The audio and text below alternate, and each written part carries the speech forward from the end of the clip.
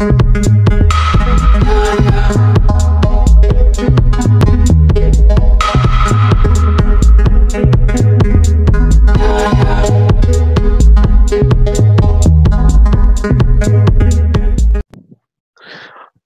uh, now we will uh, click on the submit application. If all things are okay, then uh, your profile will be submitted and uh, here are two options. Like you can approve your profile uh, with the, uh, their fast track method uh, and they will uh, like review your profile in maximum 24 hours. but it will cost to $13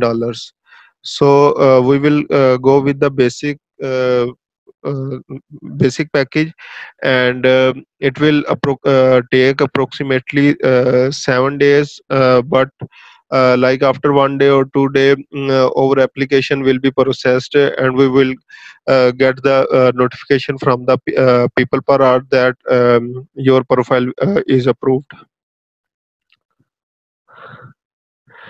okay so uh, after uh, clicking on that uh, here is uh, their message your application is under review.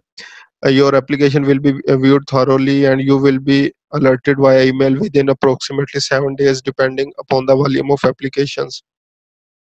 They are also saying that with their fast track method we can approve our application within 24 hours but uh, like we have to wait for um, two to three days uh, so that uh, we will get uh, the email uh, from them uh, so that we can continue with, with our profile